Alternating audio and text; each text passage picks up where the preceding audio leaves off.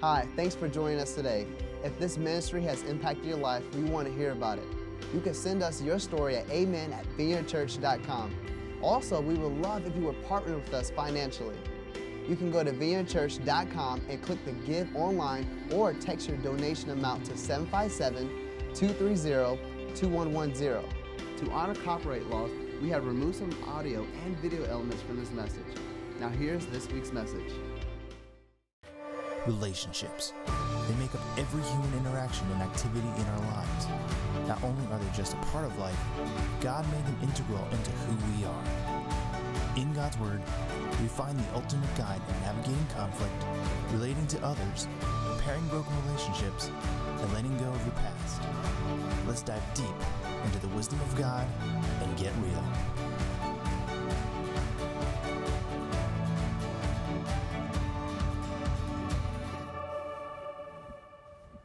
Good afternoon. It's good to be with you guys today. Um, yeah, if I haven't met you, my name is Sharon Meade, and I'm one of the uh, teaching pastors here at the church. And we welcome those of you that are online today to join us. Now, guys, uh, I'm going to continue in the series that we've been working with, which is building uh, better relationships. And today I want to look at how to relate wisely right? How to relate wisely to other people. And so that'll be our backdrop for today. All right. Well, as is my custom when I teach, I'm going to ask that we open in prayer. So if you'll just take a few moments, bow your heads with me, and I'm going to invite the Holy Spirit, which is God's presence. Okay? So let's just take a moment. Thank you, Father.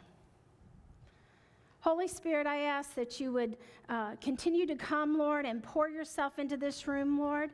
I thank you, Father, that yeah, that you're here and that, uh, that every nook and cranny is filled with your presence and that you're very aware of each person that you brought in here today. You say you're so aware that you know every hair on their head. And so, Holy Spirit, I ask that they would be able to understand what it is that you want to depart from them. Father, we always need a touch by you. And so, Holy Spirit, come and do what only you can do. I can't have enough words, Father, but you, one word spoken, dropped into a heart, can change a lifetime. And so I ask, Holy Spirit, that you'd come and that you'd rule and reign and all that's done. Yes, in Jesus' name. Amen. Amen. All right, guys. So, as I said, I want to talk about wisdom. And if I were to ask you to just jot down what you think wisdom is on the side of your paper, you know, I might get responses, or you might write down that, oh, wisdom is about a smart person, right? Somebody who knows a lot of facts. Uh, maybe somebody with a high IQ.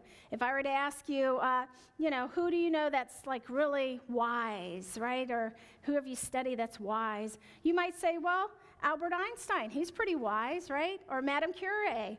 Or how about, you know, uh, Stephen Hawking's, right? Those are, those are the contemplatives that we have that we think wisdom resides in intellect. Yet the scriptures show us differently. It shows us differently. And today we are going to build uh, our discussion out of this James 3 17. Go to your outline and we'll take a look at that. It says this But the wisdom that comes from heaven, which is God, right, comes from heaven, is first of all pure. Take a moment, circle that word pure. Then peace loving. I want you to circle peace loving. Considerate, circle that also. Submissive, that's another one. Circle that up. Full of mercy and good fruits, and I want you to put a big circle around that. And then lastly, impartial and sincere, circle that. I've had you circle uh, six attributes that I'm going to talk to you today, but I want you to notice nowhere in there does it use IQ. Okay? Nowhere in there does it talk about our uh, mental capacities, right? It just kind of puts out these six attributes and says that's what you need to be going and integrating in your life. That's what it says. So that means that each and every one of us can be wise right? Each and every one of us can reach wisdom. You know, when you read through the whole book of James, specifically in, in the chapter three, you see that we are challenged to be wise in our lifestyle choices. And it's so important, I put it on your outline, that you want to make sure that wisdom is a lifestyle you choose. In James 3:13, it says, Who is wise and understanding among you? Let him show it by his good life So, wisdom is a matter of doing these attributes as opposed to just uh, spewing or talking a lot, okay? Having fancy words. All right, so we look at wisdom in light of working with other people, and you go, Yeah, I know I need it. But the question is, how do we know if we're being wise with other folks? How do we know that? Well, I want to take these attributes that I showed you and I want to talk about them. I've created uh, what I think are uh, things we need to engage in with other people that would help us. And as we're looking through these, I want you to be thinking about the relationships in your life. And I want you to look and say, hmm, how am I doing with that? You know, and kind of judge where you are now. And if there's something you specifically need to work on, I want you just to kind of circle it or give it a check, and you can give it some thought later. Okay? So let's go to our outline how to relate wisely to others. First, if I am wise, I won't uh, compromise my integrity. I'm not going to compromise my integrity. In that James 3 uh, 17 that I read to you, the very first thing I had you circle there, it says that the wisdom from God, it, right? is about being pure. First of all, it's pure. So, what does that mean? It means it's untainted. It means that it's trustworthy, you know. Uh, and so, when we look at this word pure, what really, in, when we uh, look in our own lives, what it's talking about is our integrity. That's what it's talking about here. It's talking about our integrity. To be wise means that you enter into this uh, place of integrity that lines up with what the Lord says. So, because He says to have that integrity, I'm going to walk through life I'm not going to lie. I'm not going to cheat and steal. I'm not going to take advantage of you. I'm not going to mislead you, right? Those things are unwise. And so the Lord says, watch the integrity here. I think it's by no means that he, this is our foundational. This is the first thing that we see when we're talking about wisdom. Why? Because it lays the foundation for us, the foundation that we find in our relationships. It, we need to hold good integrity, right? Uh, integrity is so important here. It's really what trust is built on, and all relationships are built up and out of trust. And so we need to know, like, if we decide to engage in lying, even if they're the little white lies, okay, let me make it more palatable, because I know you said, oh, I don't lie. Let me do, come right here. The little white lies, right? Well, when we do that in a relationship, what happens, and we're found out because you always are in a lie, right? What happens is it takes a ding at your relationship. And so you need to be careful how you conduct yourself because you erode the trust in a relationship when you enter into lying. And that's just one example. Really, what God is wanting us to attend to is the moral code of values that we carry around with us. That we shouldn't just read the word, but then we should try to get it inside of us to line up our values with His values and then live them out on a daily basis. Now, Proverbs 10:3 says, "A man of integrity walks securely." I love that. He or she walks securely if you have integrity. What that means is no matter what's going on, no matter where you find yourself, when you know that you have your values that are based in what the scriptures tell you, you have a strength about you. You know, you have a confidence about you. And so we need to make sure that our integrity is something that we attend. That's why the scripture put it first. Second, James talks about wisdom as being peace loving. And here's how I interpret that if I am wise, I won't provoke your anger, right? I'm not going to provoke your anger. See, wise people are peace loving. That means they're not looking for a fight, right? Have you ever met anybody that that just they like to argue, right? Right? Have you met them? I have, right? They just it's like it squeezes Lost that? Okay, why don't you bring me a mic? So, uh, so it just kind of comes up and out of them that they, they love to, to argue. Well, I hope that's not you, because God says that's unwise. I once heard, thank you, handsome Jacob. Love the bow tie, bud. Love it. okay, so here you go. Good? All right. So anyway, when we're talking about uh, making sure that we are don't we don't enter into conversations just because we like to be argumentative, right? And I was telling you about a man that I met who was uh, so argumentative that he wouldn't eat any food that would, would disagree with him. Any foods that would disagree with him, he'd eat them. If they didn't, he wouldn't, right? Okay. Give me a break. I'm trying. That's I live with Andy. He says, You gotta have a silly joke in there somewhere, Sharon. I'm like, oh my gosh. So let's try it again. Ready? I once heard about a guy who I love this, who was so argumentative that he would only eat food that disagreed with him. okay, I get an A for the day, Andy. All right, so here you go. We're having some fun. We need to make sure that we don't approach people with an argumentative spirit. Proverbs 23 says, any fool can uh, any fool can start arguments. The wise thing is to stay out of them. To stay out of them, guys. Right? So here you go. I'm going to pick on marriages for a few moments here. Yeah, everybody, pay attention. Okay. So here you go. Uh, it took me all of six months being married to Andy before I figured out where his hot buttons were, right? Right? You girls, you know what I'm talking about? Guys, you know what you're talking about? Hot buttons are, you know what to say to push these buttons that get a reaction, right? And it's usually a negative reaction. It's usually send somebody into this place of anger or just losing it.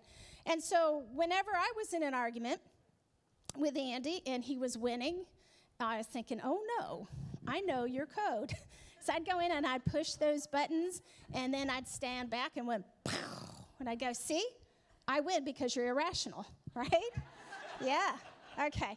Well, I thought I won, but did I really win? No. No, I didn't. No. The Bible says that that is foolish, that we don't want to do that. But I'm going to tell you, I've been married for a long time, long time. And so here's the thing you have to be disciplined not to push buttons.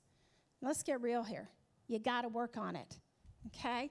You have to begin to, to work on how you're going to handle the conflict in your life because conflict with people that you're in relationship with is a natural thing. You're going to have conflict. And we're going to talk about this is so important that we're going to talk about it later in our series how to handle conflict. But listen, when conflict comes up, you know, you've got to have redefined what winning looks like. If winning is about getting somebody to agree with you, right? It's somebody to, um, to just do what you want them to. That, that's not winning. Winning is when you take the time to talk to somebody and to hear them out, hear what they, they say, and you, you give your opinion and you do it respectfully and lovingly. That's where you find the, uh, the win. That's where you find the win.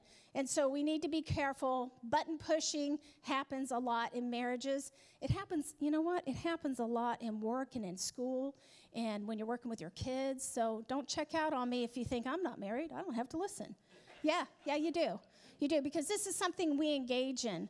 Matter of fact, I want to tell you two button pushing uh, that I see that's very prevalent with everybody. And the first one is the comparing that we do. We compare somebody with somebody else, and usually it's in a negative light. Like, why can't you be like Kalika? She's a better friend than you are, right? Or you're just like your dad, and I don't like him, right? So we're comparing in negative lights. So that's a way of pushing buttons. Another one that's very popular is condemning. You know, that's like that, that absolute uh, disapproval, you know, where you look and you go, you shouldn't have.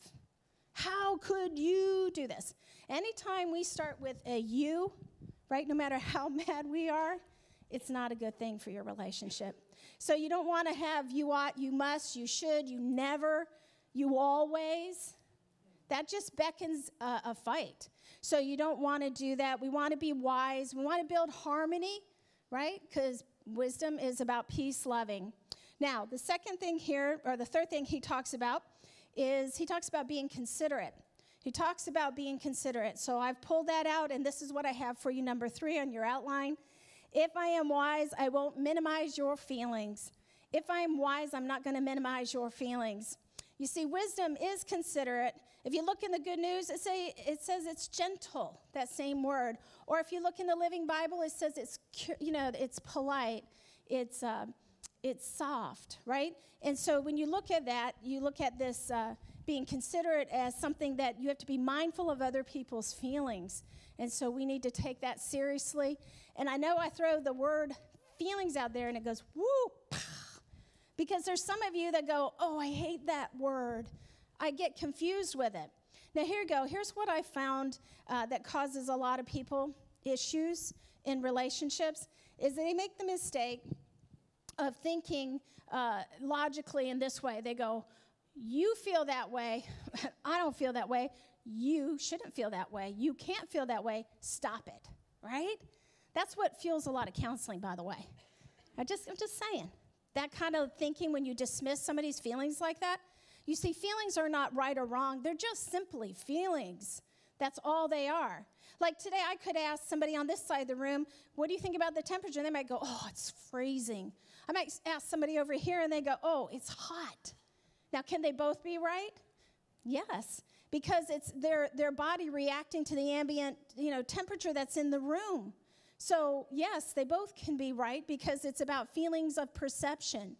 So, here's how it works in marriage your spouse says, I am so depressed. And then you go, wait a minute, you can't be depressed. There's no logical reason. Stop it, right? That's unconsiderate. That's unconsiderate. You don't want to do that. What you want to do, if you're a husband and your wife says that, you want to just sit back, okay? You got to take off the hat that says, I need to fix this thing. That's your first hat that you remove. The other one is, I'm going to figure it out because she's a girl and you never can, okay? I'm just saying, I'm going to send you, you know, a little message. Don't try. But what you can do is you can actively listen. Active listening is, I hear you. That must hurt. Wow, I didn't know that was going on. Those kinds of messages, they say that you are sympathetic towards somebody. And gals, if your husband says that to you, that he's depressed, you can't fix it. And it's not your fault, okay? You can't fix it. So I want to encourage you to figure out what his love language is, right? And then you need to figure out how you can show sympathy in that. Maybe you're going to go golfing with him, or you could cuddle with him at night if you get my drift, right? Yeah, works for me. Believe me, that's a freebie. So you want to, you want to figure out a way of connecting with your spouse in a loving, kind way. All right. Feelings are just feelings. Uh, they're based on a unique person's perspective of what's going on in their emotional domain. You can't fix it, and you shouldn't minimize it, right? You just accept it. The Bible says in Proverbs 15 4, this is, it says that wor- uh, kind words bring, and I want you to circle that word life, but cruel words crush. I want you to circle that crush your spirit. So we've been given this power, God has given it to us, to use our words to either bring somebody up or to crush them, right? So we got to be careful. I was thinking about this, um, this thought, and uh, for me, I don't know if you're aware of it or not, but I have a learning disability.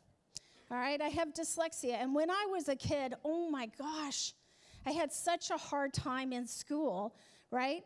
Um, trying to learn the way the teachers wanted me to was just brutal. It was brutal. Well, my dad was also in the Air Force, which meant every two years we moved to a new school system. Okay?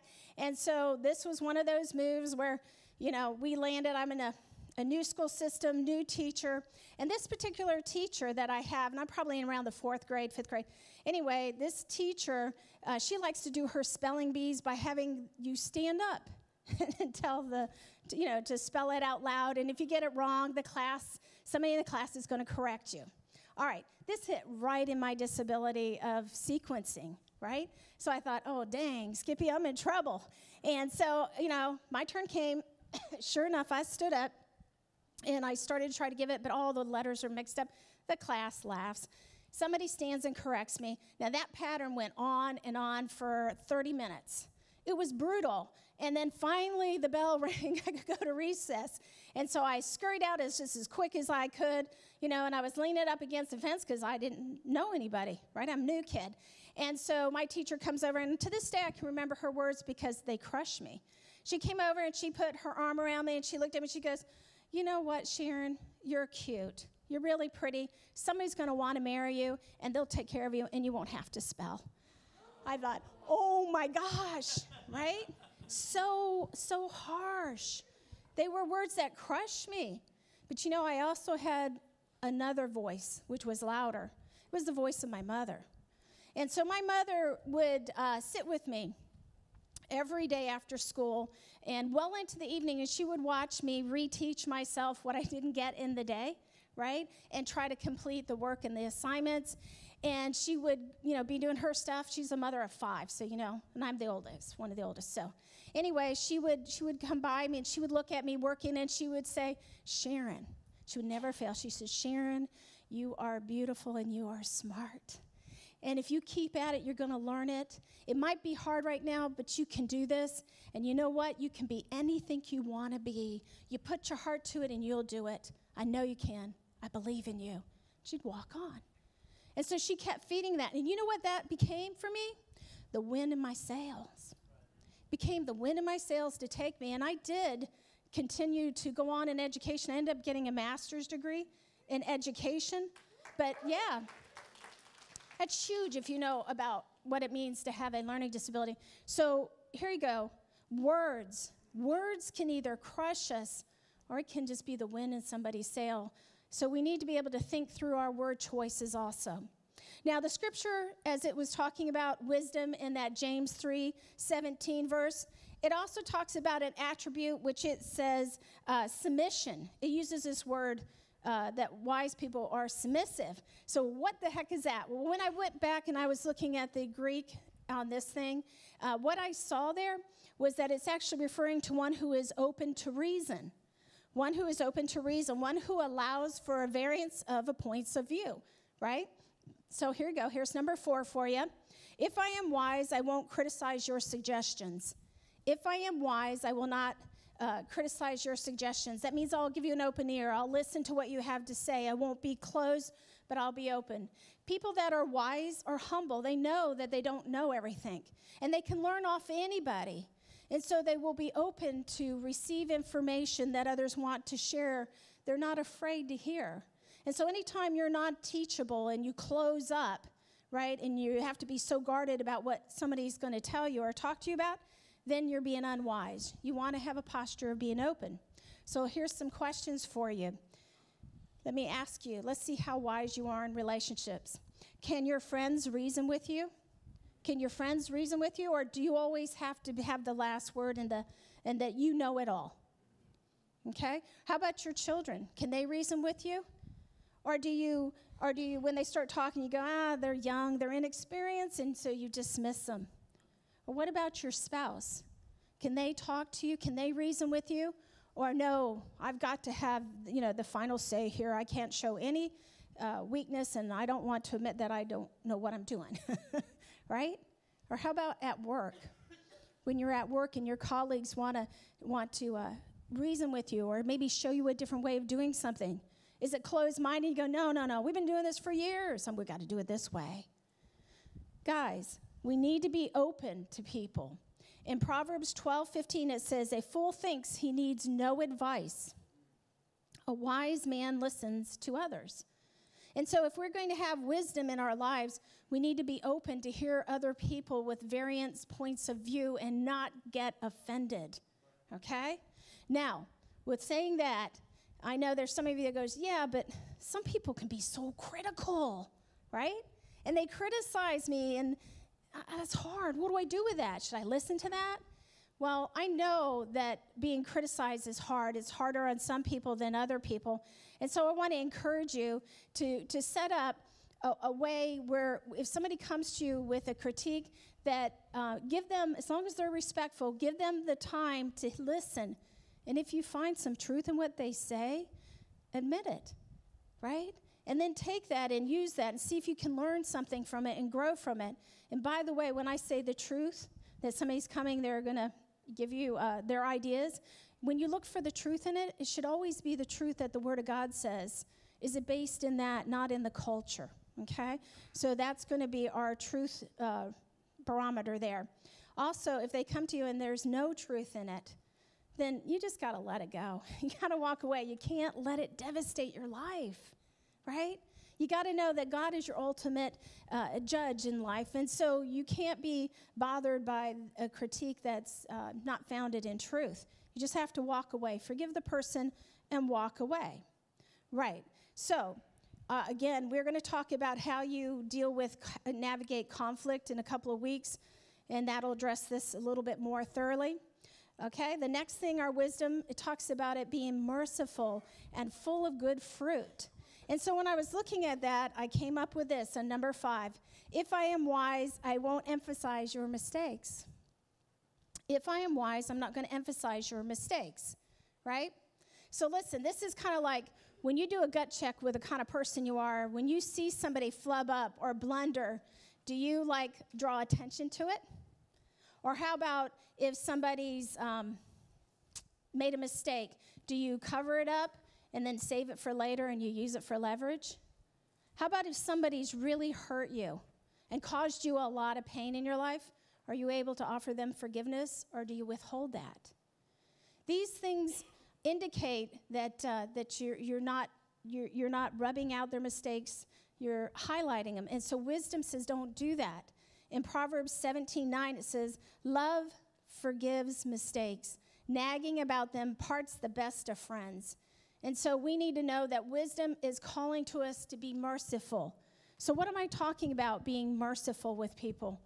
Well, mercifulness and giving mercy is about giving somebody what they need and not what they deserve. It's giving them what they need, not what they deserve. And after all, isn't that what God has done for us? I know that's what He did for me. He didn't give me what I deserved, right? He gave me what I need. You see, if we got what we deserve, none of us would be here. I wouldn't be standing up here, right? I'd be dead for all the sins I have committed. Yet, what God did is He gave me what I needed, which was mercy. And He gave it to me in the form of His, his Son, Jesus Christ. You see, the sins that I participated in, that you participated in, well, with the Holy God, somebody had to pay the price for those, because if not, then anybody could hurt anybody and we wouldn't have any, any right or wrong. And so the Lord is whole and He's true. And so what He's done for us is He's taken the sins that I have committed and you have, and He's placed them on His Son, Jesus Christ. And so Jesus Christ now becomes our atoner, the one that pays for our, our, mistakes. And the way He did that is by dying on the cross for us. This is so important that you get this idea because once you do, and you're like me, we, I got it. I know how much mercy my Father has shown me by giving me Christ, that I could not be anybody but his loving servant. And if somebody needs mercy, I'm going to give it to him. I'm going to give it to him in abundance. Why? Because I have received that. Now, if you can't give per, you know somebody mercy, I would say that first of all, do you know who Jesus Christ is? Have you accepted him as your savior and made him the leader of your life? And if not, in a few minutes when I close, we can pray. And, and God accepts everybody. And when you pray, He'll accept you as, uh, as a child of God there. And He'll depart mercy. And if you have prayed and you're struggling, well, listen, the best way I know is to, to ask you to, to reach out to somebody else, reach out to another Christ follower and talk to them because mercy needs to be flowing from us. It shows and indicates that we get what happened we get it. We get the importance of what Christ did for us. And so I want to encourage you also in that. All right. So, mercy. We talked about that. But this passage also, or this phrase they use for wisdom, also talked about adding good fruits. Adding good fruits. Well, what is that? Well, what I think it is, and, and I interpret that to be, is that it's talking about the, uh, the spiritual fruits that we get, right? The fruit of the Spirit. And we see that in Galatians 5.22. You can write it on the side of your outline. Go look at it later, right? Galatians 5.22, where you and I are asked to put on and to learn the attributes, right? There are nine of them. What are they? They are being able to love and have joy in our lives, be able to work with peace and patience with individuals, to be kind, to be good to, the, to people around us, to be faithful and to be gentle, and above all, to have self control. You see that? Those are the things God wants us to grow in. When we operate out of those fruits, when we give people mercy, then we are wise. God says, then you're wise. Now, the last thing that James does to close out this scripture on wisdom is he says that wisdom is impartial and sincere. What is that? It's talking about genuineness. So, your last point, this is what I take out of it. If, I, if I am wise, I won't disguise my weaknesses. I will not disguise my weaknesses. In other words, I won't put on a mask, and you shouldn't either, right? We need to be able to um, take off masks and just be real, be who we are, uh, it, weaknesses and all. And I know this is counterintuitive. I know that. But then when we have the Holy Spirit, He can help us to be more vulnerable, to open up so that people can see who we are, that they can see the sincereness and the, rea- the realness of who we are, the authentic, you know, person that, that, that person that's in secret comes out in public and you are here, warts and all, right? You just show up and you be you. And Jesus says that's what he wants from us. He doesn't want us to hide, especially about our weaknesses. In 2 Corinthians 12 9, the Apostle Paul pens this about weaknesses. But he, God, said to me, My grace is sufficient for you, for my power is made perfect in weakness. Therefore, I will boast all the more gladly about my weakness, so that the power of Christ may rest on me. And you see, God wants to use the pain in your life. He wants to use the, the weaknesses that you have. When you yield them to Him, He does this thing that only He can do.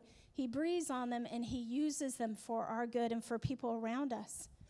You know, this past couple of months, I've been working with uh, the pastoral team, and I've been challenging them that uh, we need to embrace this new management system that, that uh, we've been trying to bring in. And the reason being that it can make us more effective and uh, efficient in our ministries that we're running. And so, anyway, I've been bringing that. We've been talking about it for months, and I could see that they were kind of glossing over in their eyes, right? How many of you guys know when you got something that works, right? It's hard to go to something that you don't know or to recreate it. It's like moving from good to great. Very difficult. So, anyway, I was seeing this glossiness. I went to the Lord and I said, Lord, what do I do here? And the father said, Why don't you share your own struggles with this? And I thought, Oh, no, I don't want to, right? Can you not give me something spiffy to say? and he said, No, I want you to share your heart. I was like, Okay. So, one of the, the meetings we had, I just simply put up there the structure I had. And I said, This is why I haven't been able to give you the kind of time that you deserve. This is why we're falling short. This is my issue that I have with the system we have right now. And it was kind of silent. And I said, and I tell you, I've pushed back and I've thought long and hard and said, Lord, because it's such a hard process to change what you've been doing for so many years. And I said, Am I done? Am I done? Do I need to pass it on to somebody else? And as I was in that place of being real, right? God does what only God can do. And so um, he breathed on the people right in the midst of me sharing my weaknesses and my insecurities and thinking, can I do this? Am I going to be able to take it to this next level, Lord, right? Well, that day we ended, we moved on to another topic, and I thought, well, I, I think I'm obedient. So I went in my office, and I'm going to tell you, I had all week long different pastors popping their head, and they go, Thank you. Thank you for sharing that, because I thought it was just me. I thought I'm the only one that felt this. I thought that I'm the only one that that felt so so alone in this. And with you sharing, I now know, no, God's doing something. And He loves us and He loves the people that He brings here. And if this is what God wants, we need to do it. And I tell you, I saw a shift that happened in, in the pastoral staff and, and the support staff, and they're starting to move now to, to embrace this and to actually, they feel good about it and, and they're looking forward to it. Guys, I tell you, from a distance, you stand from a distance in people and you can dazzle them with your strengths. But if you really want to impact people, you come close and you lean into them and you tell them about the weaknesses you have. Yeah, it's, it's huge. It's huge to help people to move from good to great. And so it's something we need to be doing. Now, here's my final thoughts on this whole concept of wisdom that we've been talking about. You know, we look at these attributes, and if you're like me, I like, oh, fell short, fell short, fell short, you know? But here you go. Thank you, Jesus. Because when we know who we are in Christ, then we are able to upright ourselves when we and, and take a look at what's actually going on.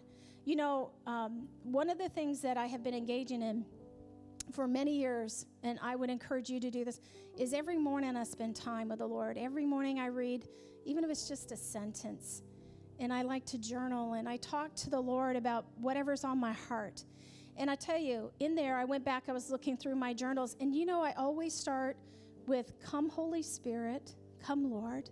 And then my very next one is, Give me wisdom and understanding so I can be faithful with the people that you brought to me, that I can see my own stuff and know how to navigate it, right? I think when we're there and we're real before the Lord like that, then those scriptures that He places in our heart that says, If you seek me, you will find me. If you seek me, you will find me. And He says, Then ask me. Ask me for wisdom and see if I won't give it to you. And I won't predicate it on how well you're doing. I just give it to you because I absolutely love you and I want to help you. And so that's what the Father wants us. He wants us to be wise people, a wise people. Bow your heads with me.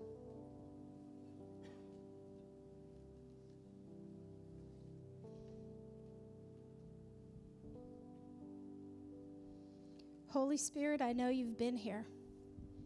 I can sense you. And so, Lord, I thank you that you spoke your words today. I thank you that um, they were like seeds that you scattered, Father, in the hearts. And Lord, for those hearts that you have prepared for them, I ask that they would grow up, that that seed would grow up and, and mighty, yeah, I see that, a mighty tree would grow up and that the uh, birds of the air and people could find shelter under it, Lord, that they could find rest. And so I thank you, Father, for all that you're doing here today. I thank you that you love us so much that you want to make sure we understand your words so that we can make a difference in the relationships that you have bestowed upon us, that you have given us, Lord. Yes. And so, Father, I hear those of you who do not have uh, mercy, right? It's a lot of it is that you didn't start by um, letting Christ be number one in your life. And so I want to encourage you today if you want to be able to experience it for yourself, have this mercy, then I want you to just pray with me right now where you are, with every head bowed and eyes are closed. People that have made a decision to put Jesus in their life, to let him be the leader, they're praying for you right now. And I'm going to encourage you to pray with me. You just say, um, Father God, I want to experience your mercy. Mm-hmm. I need to experience your mercy. I can't give what I don't have. I accept your Son, Jesus Christ, as my Savior. Just go ahead and pray that right now. Just as my Savior, the forgiver of my wrong choices. And Jesus, the best way I know how, I give you the reins of my life from this day forward. Now, I want to pray for you guys that were praying that prayer. Father, I thank you that you sealed it in their hearts, Lord, and that you have written their name in the book of life that resides with you. Now, Father, I commit them to you. And I ask, Lord Jesus, that you would continue, Father, to continue to um, walk with us. Continue to make us a people that are like, mm,